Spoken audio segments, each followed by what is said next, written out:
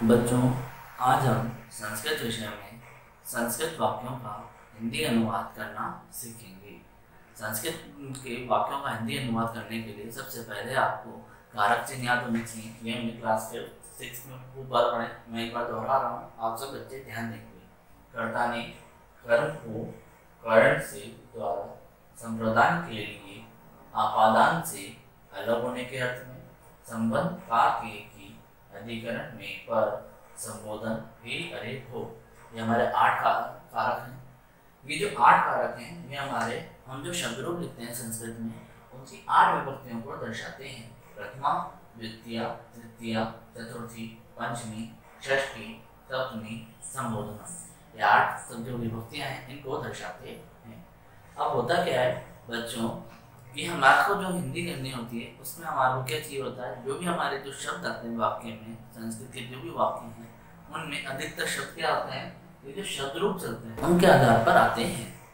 देखिए तो इसके लिए हमें क्या होना चाहिए? दूसरी चीज़, जो भी शब्द रूप हम, जिस भी क्लास में हो, वो शब्द रूप हमें याद होने चाहिए। जैसे सिक्स क्लास में हम आते हैं तो अकारांत से याद करने करते हैं। अकारांत पुल्लिंग आकारांत स्त्रीलिंग, अकारांत नपुंसकलिंग शब्द रूप लताम लता, फल। आसान यही होते हैं। एक जैसे चलते हैं फिर आते हैं अपने पास इकारांत पुल्लिंग मुलनी उकारांत पुल्लिंग गुरु है ना? फिर आते हैं नदी इकारांत स्त्रीलिंग मति इकारांत स्त्रीलिंग वारी इकारांत नपुंसकलिंग है ना? फिर उसके बाद आते हैं आप जैसे जैसे पढ़ते हैं धेनु और आत्मन शब्द तकारांत आत, सॉरी आत्मन शब्द नकारांत भवत शब्द तकारांत ऐसे हमारे पास रिकारांत पितरी मातृ, भ्रातृ, ये शब्द जो शब्द रूप चलते हैं। ये सब हमें याद होने चाहिए। जितनी जैसे जैसे हम आगे बढ़ेंगे हमारे पास नए शब्द रूप आएँगे, वो शब्द रूप याद होने चाहिए। अब शब्द रूपों की सहायता से हम हिंदी अनुवाद किस प्रकार कर सकते हैं, ये देखिए। शब्द रूप जो होते हैं, वो आठ विभक्तियों में लिखे जाते हैं। प्रथमा विभक्ति से लेकर संबोधनम तक, ठीक है? इस संबोधनम का क्या होता है? हम किसी को संबोधन देख के बात करते हैं। अब ये जो आठ विभक्तियों में जो शब्द रूप लिखे एक वचनम द्विवचनम बहुवचनम अगर एक वचनम का कोई हो तो एक वचन का हमारे को लेना है। द्विवचनम हो तो द्विवचनम का अर्थ लेना है, बहुवचनम हो तो बहुवचनम। अर्थ वही रहेगा, बस हमारे को शब्दों का एक वचन, द्विवचन और बहुवचन कर देना होगा। अब देखिए बच्चों, मेरे से एक बार बच्चे, किसी बच्चे ने पूछा था कि, सर, सूर्य जो शब्द है, उसके अगर हम चलाएँ ऐसे शब्द रूप तो सर काम क्या है? सूरज तो एक ही है, सर, आसमान में। लेकिन यहाँ पे द्विवचन और बहुवचन का काम क्या है, सर? तो उसका जवाब दो है। पहला, अगर सूरज नाम के कोई खूब सारे बच्चे हुए, हमारे पास खूब सारे, एक मान ले, मान लीजिए हमारे सामने हजारे बच्चे खड़े हैं। अब हमने बोला सूरज और सूरज में से दस बच्चे आए, ऐसे आए कि वहाँ पे दस बच्चों का नाम सूरज निकला। तो फिर हमारे को ऐसे में, उनको दर्शाने में संस्कृत में द्विवचनम और बहुवचन दो आए तो द्विवचन दो से ज़्यादा है तो बहुवचन का प्रयोग करना होगा। अब मान लीजिए हम आकाश के सूरज की बात कर रहे हैं। आकाश में तो एक ही सूरज है तो उसके लिए हम एक वचन का ही प्रयोग कर सकते हैं। ये तो ठीक है, लेकिन मान लीजिए कि सूर्य क्या है? अकारांत पुल्लिंग शब्द अकारांत पुल्लिंग शब्द यानी राम के अनुसार चलेगा। ठीक है? तो होता क्या है? ध्यान दीजिएगा, ये तो पुल्लिंग के लिए जो एक वचन है, उसके लिए हम एक वचन ही यूज़ कर सकते हैं। लेकिन कई जगह ऐसे हैं जहाँ हम सामान्य शब्दों को, जैसे बालक हमने बालक एक लड़के को भी बालक कहेंगे, दो तीन हो, उसको भी बालक ही कहते हैं, खूब सारे उनको भी बालक ही लड़के हों, उनको भी बालक ही कहते हैं। इसके अलावा हमारे सामने किसान खड़े हुआ एक किसान हो तो किसान एक वचन का प्रयोग कर लिया दो किसान हो तो द्विवचन का कर लिया बहुत सारे किसान हो तो हम बहुत सारे बहुवचन का प्रयोग कर सकते हैं। इसलिए हमारे को द्विवचन और बहुवचन की आवश्यकता होती है। जहाँ एक वचन हो, वहाँ एक वचन का प्रयोग करेंगे। जहाँ द्विवचन का प्रयोग होता है, वहाँ दो वचन का होगा जहाँ बहुवचन में वहाँ बहुवचन का प्रयोग करेंगे। यह आप लोगों को समझ में? अब हिंदी अनुवाद कैसे होता है कि जो शब्द रखा है, उसकी विभक्ति है। विभक्ति को उसके कारक के, प्रथम विभक्ति का कारक है कर्ता कारक, द्वितीय का है कर्म कारक, तृतीय का है करण कारक, चतुर्थी संप्रदान कारक, पंचमी अपादान, षष्ठी संबंध, सप्तमी अधिकरण, संबोधन को संबोधन कारक से ही दर्शाते हैं। ये आठ विभक्ति इनके आठ कारक अब हमें हिंदी अनुवाद करते हुए क्या करना है एक वचन है तो एक वचन का शब्द लिखना है, द्विवचन है तो उसका द्विवचन करना है, हिंदी में द्विवचन में क्या कहते हैं? बहुवचन है तो उसका बहुवचन करना है, हिंदी में क्या कहते हैं? और उसके बाद एक कारक चिन्ह लगाने हैं और हमारा हिंदी अनुवाद हो गया। देखिए कैसे। राम है। राम है। इस पे बढ़ने से पहले एक चीज़ ध्यान देने की बात है कि मैंने यहाँ पे अकारांत पुल्लिंग, आकारांत स्त्रीलिंग और अकारांत नपुंसकलिंगम शब्द का प्रयोग। करा यहाँ पे पुल्लिंग तीन, एक वचन द्विवचनम और बहुवचनम तीनों लिखे हैं। यहाँ पे एक वचनम और एक वचनम भी लिखा है। दूसरी चीज़ है, जो प्रथमा विभक्ति का जो होता है, राम है, रामो, रामा पुल्लिंग में स्त्रीलिंग में लता, लते, लता नपुंसकलिंगम में फलम, फले, फलान, ये जो होता है, ये दो तरह से दर्शाया जाता है। एक होता है, इसका अर्थ लें, हिंदी अनुवाद करें और उसको ने लगा दें। जैसे राम है का पहला अर्थ कर दें राम ने लता लेंगे तो लता ने, फल लेंगे तो फल ने। एक अर्थ तो ये होता है, और दूसरा अर्थ होता है, ये अर्थ कब होता है बच्चों? ध्यान दीजिए, कर्ता कारक को। जब भी ये कर्ता के तौर पे आ रहे हो, यानी कोई काम कर रहे हो, जैसे राम ने लिखा तो राम है लिखती। राम ने लिखा तो राम क्या हो रहा है? लिख रहा है, करता हो गया तो इसलिए राम है लिखती। ठीक है? अगर हम यह राम है। सिर्फ़ हमारे को संज्ञा के तौर पे, कर्ता नहीं बनकर सिर्फ़ संज्ञा के तौर पे ले रहे हैं। तो राम का अर्थ राम ही रहेगा, लता का अर्थ लता ही रहेगा, फल का अर्थ फल ही रहेगा। यहाँ पे ने जो हमारा कारक चिन्ह है, वो नहीं दर्शाया जाता। ये सिर्फ़ प्रथमा विभक्ति में ही होता है। ये ध्यान रखने की चीज़ें बच्चों। अब हम आते हैं द्वितीय विभक्ति से। रामम। रामम का अर्थ होता है बच्चों, राम को, रामो द्विवचन है। तो रामो, दो राम को रामान बहुत सारे रामों को। अगर यहाँ पे हम रामान की जगह दूसरा शब्द लेते हैं, बालक का अलग लेते हैं। संस्कृत में बच्चे को लड़के को क्या कहते हैं? बालक बालक है, नहीं, बालक है, बालको बालका बालकम, बालको बालकान। यहाँ पे क्या आएगा? बालकान आएगा तो उसका हिंदी अर्थ क्या हो जाएगा? बहुत सारे बच्चों को। क्यों आया? द्वितीय विभक्ति द्वितीय विभक्ति का कर्म कारक है उसका चिन्ह क्या है? को तो अगर यहाँ पे बालकान करते हैं। लड़के, बहुत सारे लड़के हैं। तो लड़कों, बहुत सारे लड़कों को, है ना? ये आया होगा समझ में।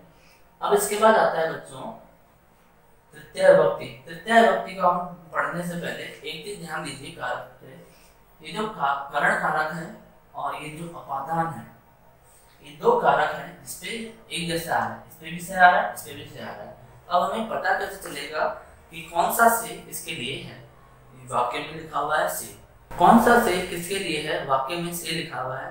ठीक है? तो इसका साधारण तरीका है, जो करण कारक है, वह साथ को दर्शाता है, किसी के साथ को। जैसे मैं एक उदाहरण देता हूँ बच्चों। मैं पुस्तक से पढ़ता हूँ। ये मेरे पास एक पुस्तक है। मैं पुस्तक से पढ़ता हूँ। मैं इस पुस्तक से पढ़ता हूँ, यानी इस पुस्तक की सहायता से पढ़ता हूँ। तो ऐसी परिस्थिति में ये जो से है, कौन सा से दर्शा रहा है? ये वाला करण कारक दर्शा रहा है। और एक दूसरा उदाहरण लेते हैं बच्चों। क्या उदाहरण लेते हैं कि मैं विद्यालय से घर जाता हूँ। तो जब तक मैं विद्यालय से, यानी विद्यालय को त्याग दिया, फिर मैं घर को जाता हूँ। ऐसा थोड़ी होगा कि मैं विद्यालय में भी रह लूँगा और घर में भी रह लूँगा। ऐसा एक साथ हो सकता है क्या? नहीं हो सकता। तो ऐसी परिस्थिति में जब मैंने किसी चीज़ को त्याग दिया और मैं आगे बढ़ गया तो ऐसी परिस्थिति में अपादान कारक, यानी से, अलग होने के अर्थ में जिससे हम अलग हो चुके हैं। वह आता है। ये आप लोगों को समझ में आया होगा। अब देखिए यहाँ पे रामायण रामायण में देखिए, यहाँ पे अणे आ रहा है, जबकि न आता है। बाल्किन लिखते हैं यहाँ देखिए। तृतीय विभक्ति में क्या आता है? बाल्किन न आता है।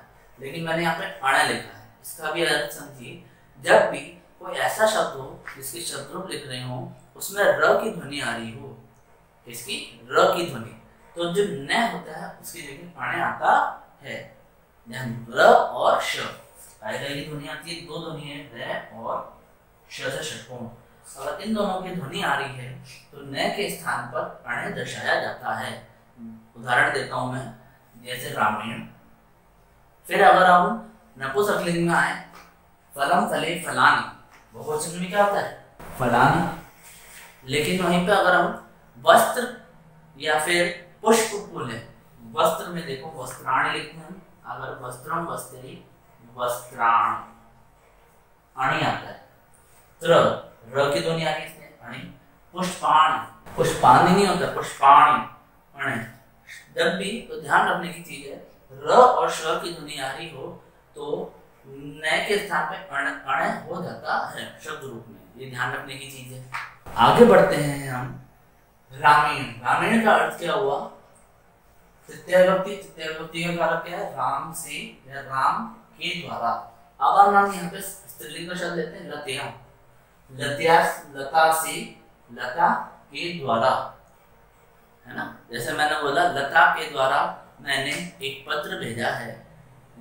या फिर लता के साथ, यहाँ पे के साथ भी लिख सकते हैं, यहाँ पे। इन दोनों के स्थान पे हम कई बार के साथ का प्रयोग भी करते हैं। लता के साथ मैंने पत्र भेजा है।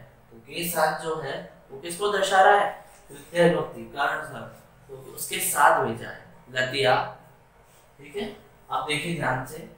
अब हम आ रहे हैं चतुर्थी विभक्ति पर। चतुर्थी विभक्ति का कारण क्या है? के लिए। अब मैं स्त्रीलिंग का प्रयोग कर रहा हूँ, स्त्रीलिंग। लता के लिए कपड़े चाहिए। तो ये लता के लिए क्या? लतिया ही चतुर्थी विभक्ति क्या है? चतुर्थी विभक्ति का क्या के लिए। तो लता के चलेंगे तो लतिया ही, लता के लिए तो लतिया का अर्थ क्या लता के लिए, ठीक है बच्चों? आगे बढ़ते हैं। रामात, मैंने बताया पंचमी भक्ति में क्या होता है? अलग होने के अर्थ में, विद्यालयात, वृक्षात। इसका एक उदाहरण समझिए विद्यालय का उदाहरण तो मैंने आपको भी बताया था। दूसरा उदाहरण देता हूँ। पेड़ से पत्ता गिरता है। पेड़ से क्या? पत्ता जो है, टूटकर गिरा। तो पेड़ से क्या हो गया? बिल्कुल अलग हो गया। तो यहाँ पे हम लिखेंगे पेड़ से के लिए लिखेंगे वृक्षात। यहाँ पे जो रामात लिखा है, उसी प्रकार हम लिखेंगे वृक्षात। वृक्षात का अर्थ क्या हो जाएगा? रामात है, वैसे वृक्षात है। वृक्षात का अर्थ क्या हो गया? पेड़ से अलग हो गया पत्ता। पत्रम। पत्ते हो गए कितने? पत्रम पतति ये हुआ हमारे इसका हिंदी अनुवाद। पेड़ से पत्ता गिरता है। क्योंकि पत्ता जो है, पेड़ से अलग हो चुका है। अब हम पढ़ते हैं रामस्य। रामस्य है, षष्ठी विभक्ति को दर्शाता है। षष्ठी विभक्ति का कारक है, संबंध का के की क्या है? का के की तो षष्ठी विभक्ति में क्या होता है बच्चों? हमारा को रामस्य का अर्थ क्या होगा राम का, राम के, राम की। है ना? ये अर्थ होता है, अब ये इसमें का आएगा? के आएगा, या की आएगा, ये हमें वाक्य के आधार पर निर्धारित करना होता है। सप्तमी विभक्ति है, अधिकरण कारक। सप्तमी विभक्ति में क्या है? रामे रामे वो रामेशु। एक वचन में रामे रामे वो रामेशु। अगर यहाँ पे लेते हैं कृषकेशु कृषक लेते हैं हम, शब्द लेते हैं कृषकेशु यानी किसानों पर, किसानों में, हम बोलते हैं किसानों में आक्रोश है। तो यहाँ पे कृषकेशु आक्रोश। आक्रोश है ना, यानी गुस्से हैं तो कृषकेशु आक्रोश, संस्कृत में बोलेंगे तो। अगर किसानों पर कर्ज है तो कृषकोशु तो यहाँ पे किसानों पर आ जाएगा। कृषकेशु के दर्शाएगा? किसानों पर। तो ये हमने वाक्य के आधार पर निर्धारित करा कि में आएगा या कर आएगा। अगर कर्ज की बात कर रहे हैं तो किसानों पर हो जाएगा। अगर हम किसी में उनके अंदर गुस्सा है किसी बात को लेकर तो कृषकेश किसानों में गुस्सा है, ये बोलेंगे। फिर अपना अंतिम नंबर पर आता है संबोधनम। संबोधनम यानी हम किसी को संबोधन, आदर के साथ संबोधन करके बोले। संबोधन कारक क्या होता है? ही और प्रथमा विभक्ति का दर्शाता है। मैंने प्रथमा विभक्ति में बताया था कि प्रथमा विभक्ति में क्या होता है कि वह या तो ये सीधा सीधा आता है या फिर राम ने ने ना आए केवल इसका अर्थ राम ही आता हो, तब ऐसी परिस्थिति में हम प्रथमा विभक्ति के साथ हे लगाते हैं तो वह संबोधन को दर्शाता है। जैसे उन्होंने बताया था यहाँ पे राम। राम का अर्थ क्या हो सकता है? राम ही हो सकता है और राम ने। तो अगर हमारा किसी को संबोधन देना हो, संज्ञा की तरह प्रयोग करना हो तो ये नाम बोल सकते हैं। आप लोगों को इतना समझ में आया होगा। बच्चों, अब हमने कुछ वाक्य लिए हैं। अब इन वाक्यों को देखते हैं। पहला है राम पठती। एक वचन मैंने हर वचन विभक्ति के अनुसार और वचन के अनुसार मैंने वाक्य लिए हैं पे देखिए। राम पठती। मैंने आपको बोला था राम जब प्रथम विभक्ति का होता है, अगर वह कोई कर्म कर रहा हो तो ने लगता है कर्ता के तौर पे। अगर वह साधारण हो तो वो साधारण तौर पे हिंदी आती है, जिसमें ने का प्रयोग नहीं होता है। तो राम पठती। राम पढ़ता है। इसका हिंदी अनुवाद क्या हो जाएगा राम पढ़ता है। ठीक है बच्चों अगर यहाँ पे कुछ और होता, कोई काम कर रहा होता तो हम राम नहीं लगाते। दूसरा वाक्य देखिए लता विद्यालयम गच्छति। विद्यालयम द्विवचन का प्रयोग हुआ है।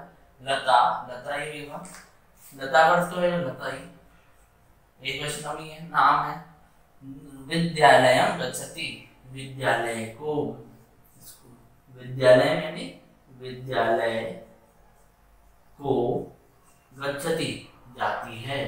विद्यालय ये देखिए यहाँ पे प्रथमा विभक्ति आया, इसमें प्रथमा विभक्ति और द्वितीय विभक्ति दोनों का प्रयोग हुआ। देखिए तीसरा, सह हस्तीन खादती। सह यानी वह, हम जानते हैं, हस्तीन।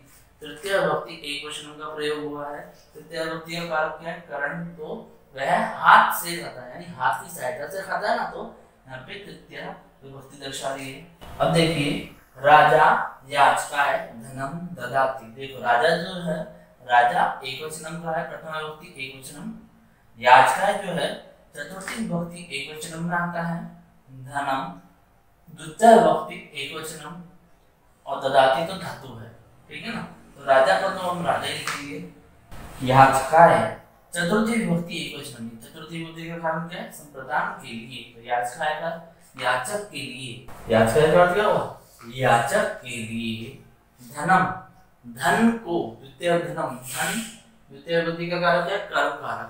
तो धन को ददाते देता है। ठीक है? आया समझ में? नगरात योग आगच्छति। नगरात पंचमी भक्ति एक वचनम। नगर से नगरात का अर्थ क्या हो जाएगा? नगर से, अब देखिए बच्चों, नगरात आगच्छति। नगर से युवक आते हैं।